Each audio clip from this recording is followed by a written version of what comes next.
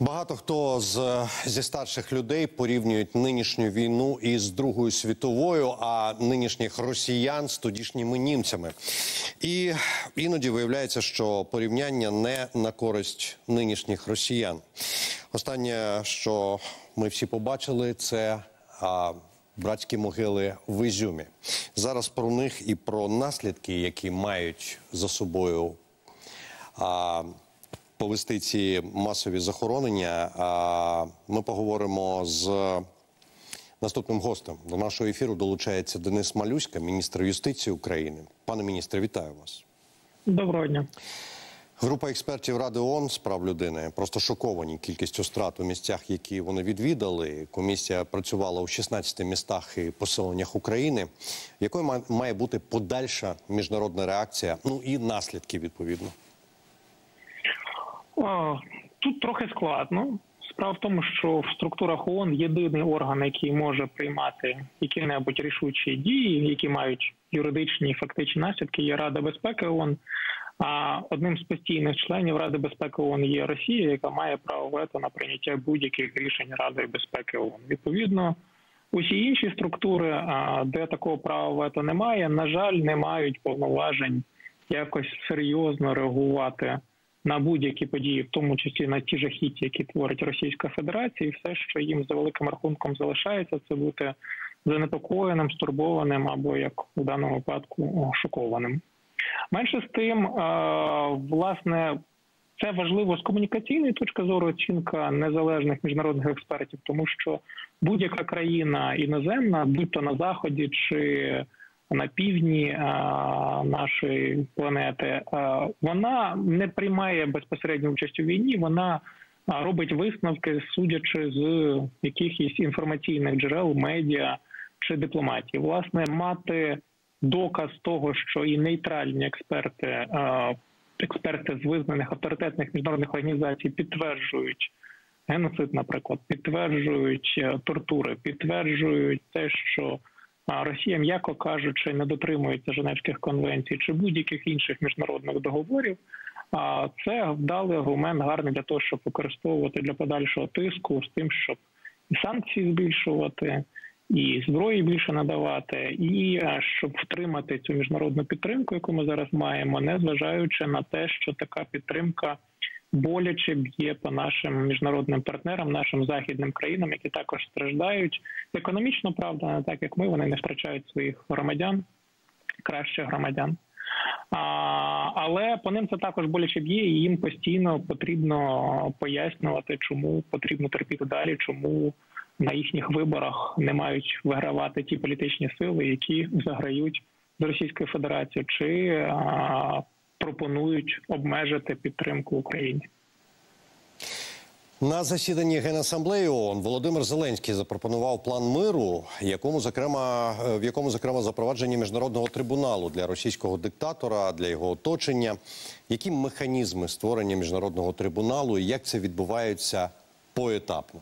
Чи може відбуватися? От, власне, це трохи продовження попереднього запитання, тому що до цього часу усі міжнародні трибунали вони створювалися за рішенням Ради безпеки ООН. Власне в цьому полягає нас зараз. Ключова проблема для нас це не те, що не зрозуміло чи не вистачає доказів вчинення злочинів Російської Федерації чи її вищим а, керівництвом. Для створення окремого трибуналу потрібно рішення Ради безпеки ООН, як це відбувалося раніше, наприклад, при створенні трибуналу щодо колишньої Югославії чи Сієра Ліоне, наприклад. А певний час, коли міжнародна спільнота створювала трибунал один за одним, їм це трішки надоїло. Це трошки багато часу і коштів. Кожного разу створювати окремий трибунал. Створили міжнародний кримінальний суд. Це такий універсальний трибунал для усіх подальших випадків а, скоєння якихось складних злочинів, воєнних злочинів, чи ж е, геноциду, чи злочинів проти людяності. І на жаль, в нашому конкретному випадку, у випадку війни Росії проти України, міжнародний кримінальний суд у Газі не може покрити, немає юрисдикції на один з злочинів, які точно вчинив Путін і його команда. Це злочин агресії, Це злочин, який дуже легко довести. Докази всього є онлайн. Всі його бачили, всі розуміють. Росія навіть не заперечує, що вони напали на Україну. Власне, от за цей злочин Путіна засудити було просто, якби у нас був суд. МКС в Газі, на жаль, засудити Путіна за цей злочин не може з огляду на те, що Росія не ратифікувала Римський статут. Відповідно, що озвучив наш президент, а це власне про те, щоб ООН а, це стосувало інший механізм створення трибуналу, не за рішенням Ради безпеки ООН, а, щоб такий трибунал був освячений Генеральною асамблеєю ООН. Це якраз орган, який рішення якого носять рекомендаційний характер, часто ну, за окремими винятками, коли ну, такі рішення створюють певні закріплюють згоду більшості країн, і тут власне не стільки рішення Генасамблеї, скільки сама поведінка країн підсилює таке рішення. Але власне такий трибунал мав би виглядати вже не як рішення Ради безпеки ООН, не оформлені рішення Ради безпеки ООН, а радше як міжнародний договір, де б велика кількість країн, важливих впливових країн, погодились на створення трибуналу, підписали відповідний міжнародний договір, створило такий трибунал і потім виконувало і визнавало по його рішення. Цей механізм мав би бути унікальним. Власне, тому а, його створення вже займає трохи часу. Війна вже почалась давненько. Якби ж це не була унікальна ситуація з тим, що агресор є членом Ради безпеки ООН, такий трибунал був би вже створений і на даний момент, напевно, вже починав би працювати. На жаль, ми маємо випадок з агресором, членом Ради безпеки ООН, тому вимушені обирати обхідні шляхи, складніші, триваліші. Але я впевнений, що такий трибунал все таки буде створено і створено досить скоро. Підтримку усіх ключових а, гравців і політиків всередині країн, так і за кордоном ми маємо. Відповідно, питання процедурне, але я думаю, що шанси є і вони великі. Я радий, що ви вжили слово е, унікальний, і наскільки я розумію, юриспруденції це е, ще е, є синонім безпрецедентний. І от якщо вже прецедент настав, чи говорить це про те, що вся структура, можливо, ООН, можливо, Радбез ООН, повинні бути змінені для того, щоб не допускати такої ситуації, коли одна з країн просто ну висловлюючись сучасною мовою, хакнула міжнародну систему безпеки? Правильно я розумію? Я б не сказав, що вона хакнула. Справа в тому, що те, що ООН не є надто ефективною організацією, вже обговорюється десятиліттями. А проблема в іншому. Проблема в тому, щоб знайти альтернативу, яка б задовільняла а, усіх ключових гравців на міжнародній арені, чи альтернативний механізм всередині ООН.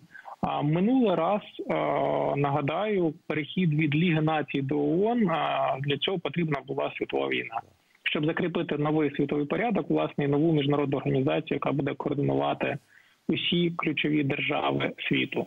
Uh Сподіваюсь, зараз щоб реформувати неефективну певним чином механізми ООН не знадобиться світової війни. Можливо, нам вдасться обійтись малою кров'ю і добитися виключення Росії, наприклад, з Ради безпеки ООН, з огляду на те, що її ніколи не включали, включав би радянський союз. А на наприклад, але це ну було б теж унікальним інструментом. Власне, все, що ми зараз робимо, все, що пов'язано з якимись юридичними чи міжнародно-правовими реакціями на агресію Російської Федерації, є унікальним, як ви правильно зазначили. А юристи вони такі гади консервативні. А вони, якщо 100 років щось робили, то вони на 101 рік не дуже хочуть щось змінювати. У нас, в принципі, от правова система наша українська, вона не така і тривала 30 років всього на всього. До цього була тоталітарна країна, радянський союз. Тому ми дивимося на речі простіше. Ми готові змінювати, готові впроваджувати щось нове, готові експериментувати. Країни заходу вжили за своїми правилами консервативними, проте стабільними сотні років, і власне погодитись на щось радикально нове їм складнувато, але й поведінка безумна Росії доводить того, що і терпець закінчується наших західних партнерів. Треба щось робити так. скоро. Так, пане міністре, я. Вибачаюся, але змушений з вами попрощатися. Дякую вам за ваш час і за цю нашу коротку розмову. Дякую з нами Дякую на зв'язку. Був Денис Малюська, міністр юстиції України.